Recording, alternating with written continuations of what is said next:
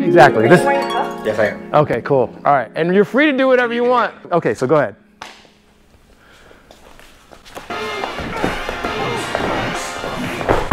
Oh, okay, cool. Nice. I think already that's a little bit better.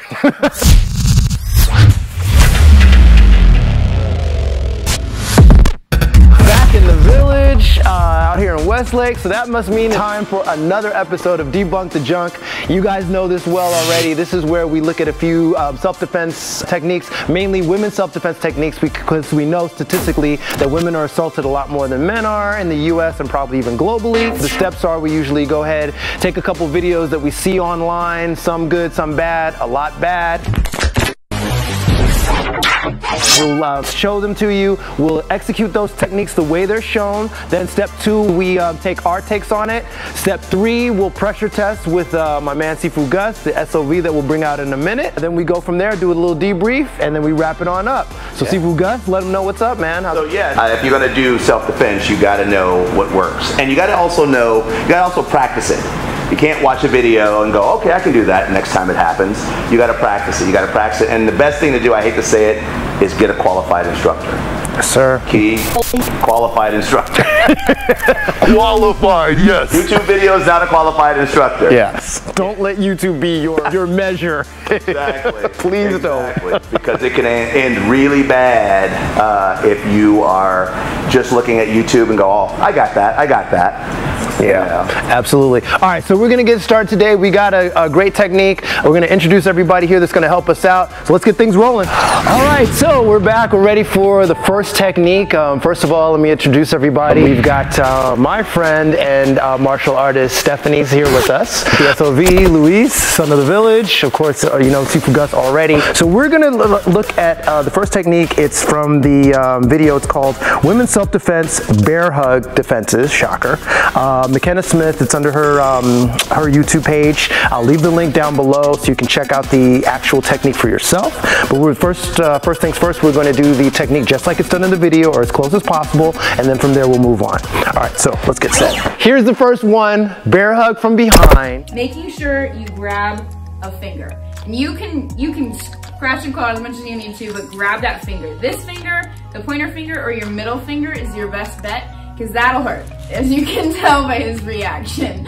All right, so whichever finger you grab, whichever side you want to grab, I would get that position and he's gonna react and I grab the elbow so that you have the control and just turn that way.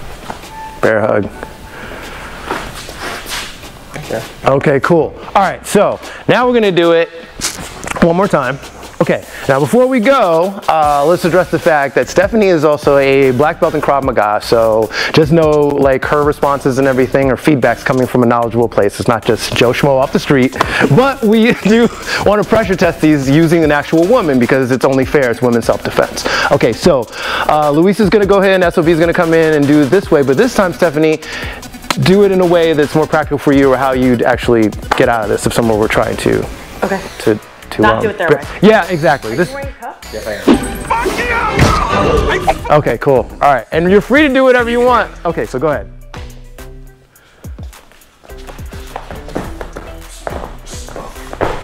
Oh, okay, cool. Nice. I think already that's a little bit better. All right, so, go ahead for it again. Same thing. However you want to get out. All right, cool. Okay, cool. So let's break this down just a little bit while you're here. When you were doing it the way that it was done in the video, what's your take on why, what works, what doesn't work? Is there anything that works? Kind of just some feedback from you. Um, well, for one, uh, I really like the soft approach here, but unless it's that unwanted hug, I don't think it's really practical for me to try to find that finger. Don't concentrate on the finger. I actually want to kind of try it with a more aggressive, like if you're, t- yeah, like Okay, okay, yeah, go for it. okay. Just a little bit more? Yeah, go for it. Yeah, like, like, like if you're yeah, add taking the ground. resistance to it. Yeah. yeah, go ahead and grab me. Yeah, I got a finger. I hit turn. I, mean, I can get out, um, but you got to find it. Um, Right, right, Fast. If he's lifting me, right, uh, I can't do the spin, right. and it doesn't prevent me from getting thrown. And the spin is my favorite part. I know. The spin is amazing. But but yeah, to your point, it's like, Yes. are you focused on that finger? Also, if he takes me to the ground, if I'm working the finger, I'm gonna go down, opposed to like if I get a chance to base my legs underneath me, uh, actually prevent that. Same way. Yeah, you the way to the finger. I mean, right? Yeah, and I even already tried to base. Right. Do it again the other way. Okay. So as soon as I base, which she doesn't do, that gives me the footage to now leverage to do something I want. If I'm standing here finding a finger, I'm gonna go to the ground. Exactly. Exactly. Things, so I'm going to try to address this. Okay. All right. So here's the more realistic thing for me. You come in with this uh, bear hug. First of all, you don't know who the hell it is. But say Gus is going to give me like probably first thing he's not just giving me a hug if it's not someone I know, right? So what's the first thing you're probably going to do, Gus, if you're doing this? Um, I'm gonna try to lift you up and slam you. Yeah. Right. So the fact that we're not addressing. I addressing. don't grab anyone like this.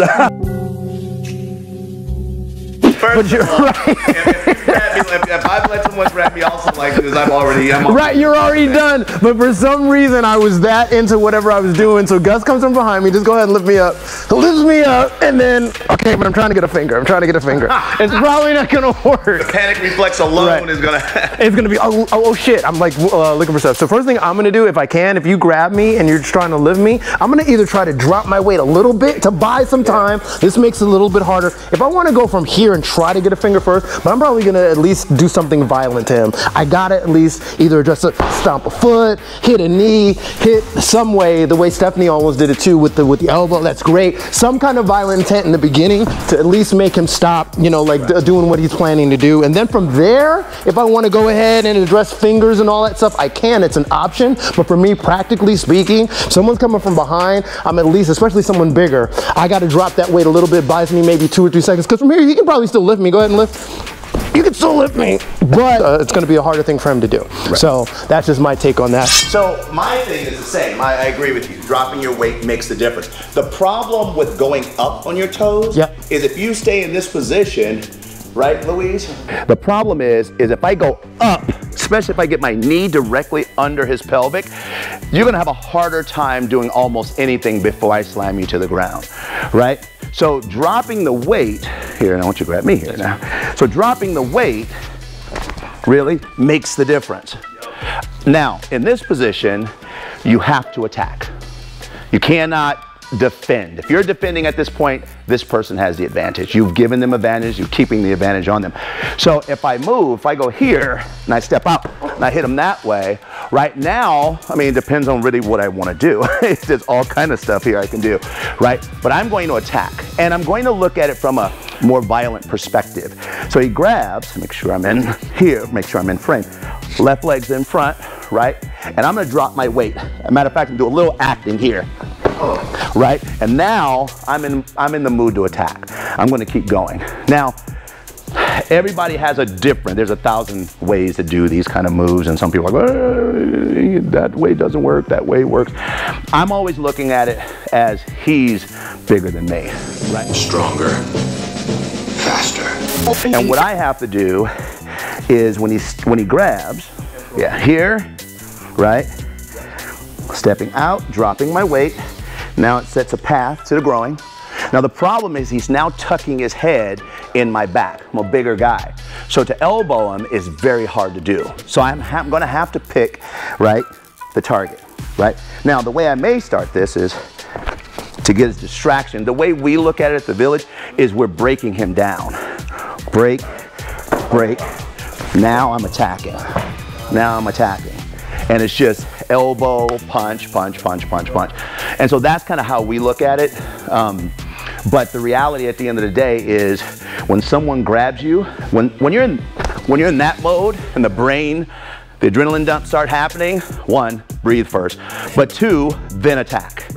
You have to go ahead and relax. You have to know that you're not going to defend this person and you're not going to wrestle this person because believe it or not, he actually has the advantage, right? And so that's the way I would look at it. Okay, so did this move. It's the bear hug from behind, and I know Stefanie, you wanted to talk a little bit about like uh, when- if someone's got you, if they're just trying to hug you, if they add the um, the actual pull up and all that. Um, So I think against a stationary, non-aggressive hugger, uh, it would work great. They're standing there, they're letting me do it. Uh, as soon as someone starts to pick me up or is taking me to the ground, you don't have a lot of time to grab for that. It's not a static attack.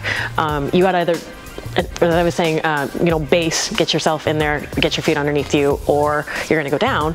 Um, also, if I'm being picked up and thrown, finding that finger, because they're moving and everything, seems a little bit tricky, trying to find the finger, uh, and that's assuming that's even at a reachable spot. So, um, but from the hugging stance, I think it works, um, but maybe not so much for a more aggressive uh, attacker. Yeah, and I think I think you hit on some stuff there. Um, Gus, anything else? Yeah, no, there's a that's a fair feedback of that. I, I I agree. I, I, think that realistically, if someone comes behind you and hugs you like this, is probably a friend or a family member. so you're probably not going to go into full attack. So I think what you were saying is right. If it's an aggressive attack, then the things you did was actually right on. So, in your opinion, would you give this technique, the way it's on the video, a pass or a fail? Um, for a hugger, I'd give it a pass. I don't do, I don't do hugs. I'm not a hugger. I'm not a hugger. Um, She's nice. I'm sorry. Otherwise, though, I would, I, would, I would probably, at least for me, for my size, I would probably say it's a fail.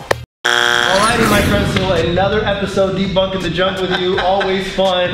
Got our boy SOV, Luis out here, son of the village. Stefanie, my friend man. Steph. Yeah, she, brought the pain. She brought it. Yeah, yeah. Krav Maga uh, flavor awesome. to this yeah, one, right? That's awesome. That really is good. Yeah, I, I liked everything we addressed. I like that we talked about, okay, here's one way, and I like that Stefanie said, well, you know, and, and coming from a female perspective, she's like, this is what works for her right? And I like that, and I think this actually those moves will work for a lot of people. Yeah, yeah, and that's the realistic part, guys. We really want to make sure that this is one of those things where if we're showing you techniques, that it can actually be used whether you're you know a frame that's smaller, a frame that's bigger, a frame you know slender, tall. You don't have to be a super athlete for these to work, or else it's a problem to begin with. So, right, you should, those probably shouldn't be taught. Right. But keeping in mind that there is a lot of stuff out there online, and um, by the way, some people are not bashing them. People with a ton of followers that get a lot of views on some of these videos, and we don't want people to think that this stuff is necessarily the, the gospel truth. Oh my God, this is gonna work. You know, it's like, and then you find yourself in that situation. Why did that work? Right, and that's not when you want to find out in the situation that the technique doesn't that's work. literally the worst time to find out. Last time, yeah, last time you want to find out that it yeah. uh, didn't work. So back to Gus's point though about training. If you guys uh, uh, are thinking about doing some training, you happen to be out here in Westlake Village, even if you're close enough, uh, I want you to give your information on how to train with you guys up here at the village. Yeah, you can contact us at uh, thevillagewithgusgates.com or gusgates.com send us an email, um, and then we'll get back to you. Yeah, absolutely, guys. Because the training is so important. It's like we can do videos till we're blue in the face, and you can try to follow along. But uh, to your point, I think you brought this up before too. You have to learn what it's like to actually get hit, have the techniques worked on you, so it's not that initial shock of having someone if you've never been choked, and hopefully you haven't. You've never been choked, and it happens. You're gonna have that freeze moment in your brain, like what's happening. It's like the training gets you past that. It's like you get used to some of these things and you get used to the, the feel of someone trying to inflict violence on you. So that's why I, I really co-sign the fact that you should get a good instructor, look for a good instructor. But the reality is, especially for females, you guys have to know what it feels like to have a big body grab you or throw a punch at you or even hit you to know how to override those feelings. And, and I, I, I, would love to say every, you know, I get everybody, well, I go to the gym, I'm athletic. Yeah, that, that doesn't count. That doesn't count. Sorry. Yeah. Sorry, guys. Sorry. It's so different. Right. So, guys, do us a favor. Go ahead and comment down below. Let us know your thoughts, things you'd like to see in future videos. We'll definitely try to address those. Subscribe if you can down, let, uh, and then keep up with everything that we're doing in the channel coming up. Uh, you'll be up to date on all that stuff. want to thank everybody again for being a part of the video, and um, you guys stay safe. See you all in the next round. Keep punching.